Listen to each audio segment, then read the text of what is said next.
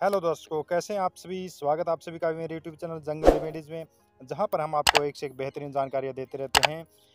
दोस्तों, आज का जो युग है, उसमें हर इंसान लगभग किसी न किसी बीमारी से ग्रस्त रहता है। आज का जो खान पान है, बड़ा विशेला हो गया है, जिसके कारण हर इंसान किसी न किसी बीमारी से ग्रस्त हो जाता है, हर चीज़ में मिलावट है। तो अगर आपको बीमारी ग्रस्त हो गए यहाँ बीमारी से तो आयुर्वेदिक जो दवाइयाँ हैं, उनसे आपका जो रोग है वो जड़मूल से नष्ट हो जाता है। तो आयुर्वेद को अपनाइए और स्वस्थ रहिए। आज जिस पौधे के बारे में हम आपको जानकारी देने जा रहे हैं, वो पौधा हर जगह पाया जाने वाला पौधा है। ये पौधा अमेरिका, अफ्रीका और एशिया के बहुत से देशों में पाया जाता है। भारत में भी ये बहुत आयत में पाया जाता है। ये इसको अनेक भाषा में अनेक नामों से जाना जाता है। हिंदी में इसको विष खपरा गदपूर्णा और श्वेत पुनर्नवा, संस्कृत में पुनर्नवा, गुजराती में साटोड़ी मराठी में घेंटुली, बंगाली में श्वेत पुनर्नवा, कन्नड़ में मच्चुकोनी तमिल में सरुन्नई, हरियाणा, पंजाब, राजस्थान में इसको साठी और साठी नामों से जाना जाता है। हो सकता है आपके प्रदेश में इसको किसी और नाम से जानते हों। इसके जो गुण होते हैं, वो चरपरा कशैला वायु विष एवं उदर पांडु नाशक होता है ये। पुनर्नवा यानी साटी साटी, यह एक लगभग हर जगह पाया जाने वाला औषधि पौधा है। ये बेल के आकार में धरती पर फैला होता है। इसके जो फूल होते हैं वो गुलाबी और सफ़ेद रंग के होते हैं। इसकी बेल काफ़ी बड़ी हो जाती है। ये बरसाती मौसम में बहुतायत में उगता है एवं गर्मी में लगभग सूख जाता है। साइंटिफिक शोध में ये देखा गया है कि इस पौधे में अद्भुत औषधि गुण पाए गए हैं। इसकी जड़ों में आइसोफ्लेवनाइड्स तत्व पाया जाता है, जिसे flavonoids flavonoid glycosides lignans steroids, xanthones, प्यूरिफिन nucleosides एम एकेसी स्टोराइड्स आदि के रूप में भी जाना जाता है। इसमें anti cancer anti inflammation diuresis, M anti diabetic hippo protection एम, इम्यूनोमोडुलेशन गुण भी पाए जाते हैं। आपने भी कभी ना कभी इस, इसका रायता या सब्ज़ी खाई होगी। इसका स्वाद पालक के जैसा नमकीन होता है पत्ते गोलाकार होते हैं। इसके जो पकोड़े होते हैं वो बड़े स्वादिष्ट बनते हैं। ये औषधि गुणों से भरपूर होता है। नाइस टेजेनेसी कुल का पौधा है। इसका वैज्ञानिक नाम बोर हेविया डिफ्यूजा है। ये पौधा भारत, अमेरिका, अफ्रीका एवं एशिया के कई देशों में पाया जाता है। इसके अनेकों औषधि गुण होते हैं। आयुर्वेद में इसके अनेकों प्रयोग हैं। तो जानते हैं इसके कुछ प्रयोगों को। पहला जो प्रयोग है इसका, वो पीलिया में देखा गया है कि पीलिया रोग में ये बहुत कारगर पाया गया है। पीलिया में इसकी जड़ का जो चूर्ण होता है, उसका सेवन करने से पीलिया रोग में बहुत ही फ़ायदा होता है। ऐसा देखा गया है। और रोगी इसकी सब्ज़ी भी बनाकर खा सकते हैं। बहुत फ़ायदा करता है ये। दूसरा इसका प्रयोग है, इसमें एंटी कैंसर गुण भरपूर मात्रा में पाए जाते हैं, जिसके कारण ये कैंसर सेल्स को बढ़ने से रोकता है और काफ़ी हद तक रोक लगाता है, क्योंकि इस मर्ज की कोई अंग्रेज़ी दवा उपलब्ध नहीं है। इसलिए आयुर्वेद ही एकमात्र ऐसा सहारा है, जिसका सहारा लेकर के आप इस घातक रोग से बच सकते हैं, इसको रोक लगा सकते हैं।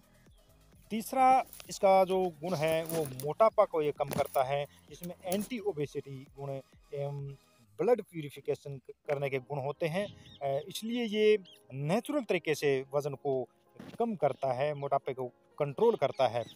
अगला जो गुण है, इसका ये एंटी डायबिटिक है डायबिटीज़ एक ऐसा रोग है जो अगर हो जाए तो जल्दी से कंट्रोल नहीं होता, लेकिन आयुर्वेद में ऐसे बहुत से पौधे हैं जो इसको जड़ से ख़त्म कर सकते हैं, इसको कंट्रोल कर सकते हैं।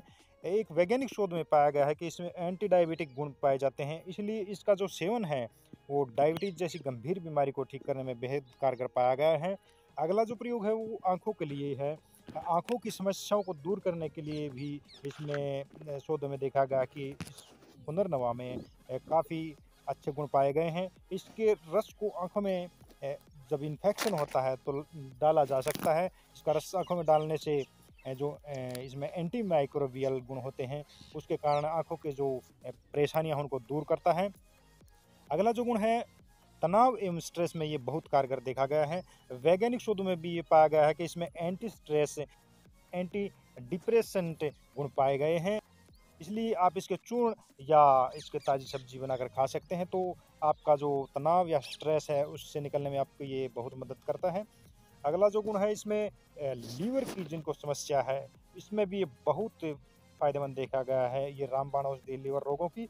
इसमें हेपेटोप्रोटेक्टिव गुण पाए जाते हैं, जिससे लीवर की रक्षा की जाती है। इसलिए इसमें ये लीवर डैमेज को बेहद प्रभावशाली तरीके से कंट्रोल करता है। अगला जो गुण है इसका, त्वचा रोगों में, त्वचा रोग में इसके ठीक करने की ताकत होती है इसमें। और अगर आपको फोड़ा फुंसी हो गया हो तो जड़ का जो पेस्ट होता है, जड़ का पेस्ट बनाकर लगाने, लेने से आपके जो जो ये त्वचा रोग है, ये फोड़ा है, ये बहुत जल्दी ठीक हो जाता है, बैठ जाता है या फूट जाता है।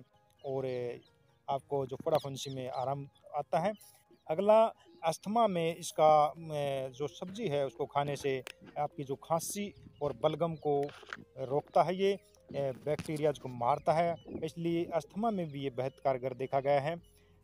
अगला प्रयोग आप इसका ब्लड प्योरीफिकेशन में भी कर सकते हैं। इसमें ब्लड को प्योरीफाई करने के बेहतरीन गुण होते हैं। इसलिए ये ब्लड को प्यूरिफाई करता है और इसमें एंटी एजिंग गुण भी पाए गए हैं।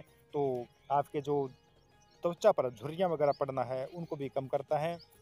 अगला जो प्रयोग है पथरी में इसका देखा गया है कि इसमें सेवन करने से मूत्र खुल कर आता है और मूत्र की जलन को भी शांत करता है, इसलिए इसमें पथरी को बनने की प्रक्रिया को भी रोकता है। धातु रोगों एवं शरीर की गर्मी में भी ये बहुत फ़ायदेमंद पाया गया है। इसके प्रयोग से धातु पुष्ट होती है एवं शरीर की जो गर्मी होती है वो शांत होती है और आप वीरियवान बनते हैं। तो दोस्तों ये कुछ प्रयोग जो मैंने बताए, ये बहुत कारगर प्रयोग हैं और ये पौधा आपको आसानी से उपलब्ध हो जाता है। अगर आपको इसका सूखा चूर्ण प्रयोग करना है तो वो भी बाज़ार में ऑनलाइन आप खरीद सकते हैं। तो अगर आपको ऑनलाइन इसका चूर्ण खरीदना है, प्रयोग करना है तो आपको मैं लिंक दे देता हूँ उस चूर्ण को आप ऑनलाइन साइट से खरीद सकते हैं। इसका प्रयोग कैसे करना है? इसका प्रयोग पानी के साथ सुबह शाम आप एक चम्मच ले सकते हैं, और शाम को दूध के साथ या शहद के साथ भी ले सकते हैं। इसको आप बहुत ही अच्छे गुण पाए जाते हैं इसमें। ये खून की कमी को भी पूरा करता है, और मासिक धर्म की जिनको समस्या है लेडीज़ को, उनकी जो मासिक धर्म की सारी समस्याएँ इसके प्रयोग से दूर हो जाती हैं और इम्यूनिटी बूस्टर भी ये पौधा है। इसके प्रयोग से आपकी इम्यूनिटी बेहताशा बढ़ जाती है। वैसे तो इसको आयुर्वेद में बहुत से गुण हैं और गुणों के भंडार है ये और किसी अगले वीडियो में हम आपको फिर से बताएँगे क्योंकि इसके बहुत ज़्यादा प्रयोग हैं। तो दोस्तों, अगर आपको जानकारी अच्छी लगी हो और आप चैनल पर नए हो तो मेरे चैनल को सब्सक्राइब कीजिए। मिलते हैं किसी नेक्स्ट वीडियो में। तब तक के लिए जय हिंद, नमस्कार।